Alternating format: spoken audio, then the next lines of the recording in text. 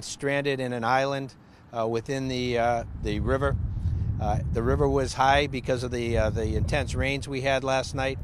To go back a little bit, our um, homeless services detail had been in the area for the past week, talking to individuals who are living in the riverbed, warning them of the incoming rain and the danger that presented. Uh, many of them took heed and left that area. Uh, this is tremendously dangerous for people who stay in that environment during these heavy rains. So we had made the notifications, we felt good, but we were continuing to check on the area.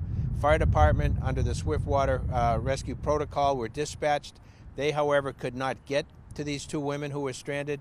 And Air 5, which you see behind me, and our emergency services detail uh, uh, deputies were in the area looking for people who were having problems due to the rains, and they heard the call come out. Now, this rescue was done in a very difficult environment. You have a lot of homeless people living in this area, and thereby a lot of tarps and things that would fly up when the uh, rotor came o- uh, over the top of them.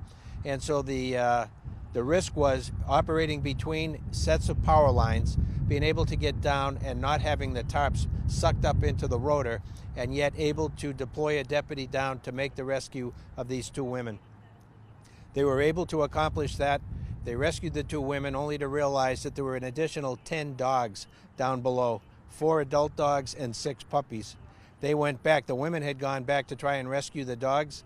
Uh, so our deputies then were able to rescue all but one dog and were able to get everybody up into the uh, into Air 5. They then went and redeployed back down to come up and be able to rescue the final puppy and were able to to accomplish that task. So my hat goes out my, uh, to the folks behind me who were able to do something uh, that many people would have said, you know what, it, that can't be done.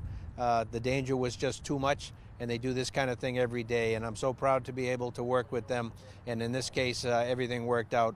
But I can't say enough about the danger of people who are living uh, along the riverbed when these rains come along. Tremendously dangerous.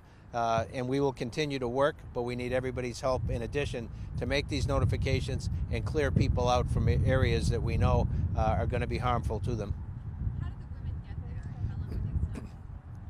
They got there, uh, they live there and um, I'm not sure they got there between rains to get back out to get the dogs, and then the rains came down. The water comes off the mountain and down through the uh, the riverbeds, and they were then stuck on the island.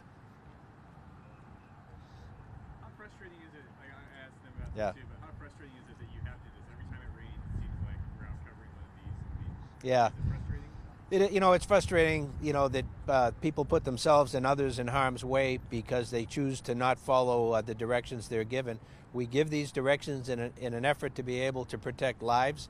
Uh, when people go against that and put themselves in a situation where they have to be rescued, certainly it puts all of our folks behind me and others in danger uh, to make that uh, that rescue. So today we were lucky; it worked out as well as it could have. But I can't say enough about the pilots, their ability to be able to navigate between the power lines and be able to avoid the debris on the ground from coming up into the uh, the rotor and the ability then for emergency services deputies to be able to lower themselves down, be able to effect the rescue, get out and evacuate from the area, and everybody worked out uh, safe in this case. Yeah, a couple have already been adopted, and we have some here.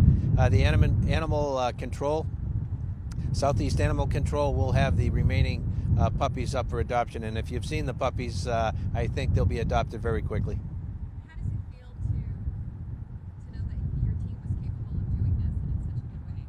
You know, it feels very good. I'm very, very proud of the work they do.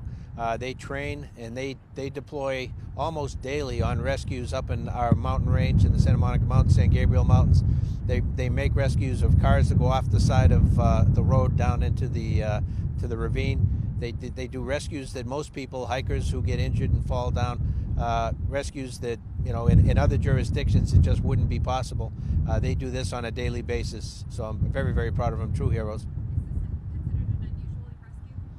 It's uh, it's unusual only uh, you know that the puppies were involved in this one, and and I think it uh, one of these situations where. Um, we had the ability to be able to, to make the rescue. Others on the ground uh, weren't able to get to these two individuals, and had the rescue not been made, the outcome might be completely different.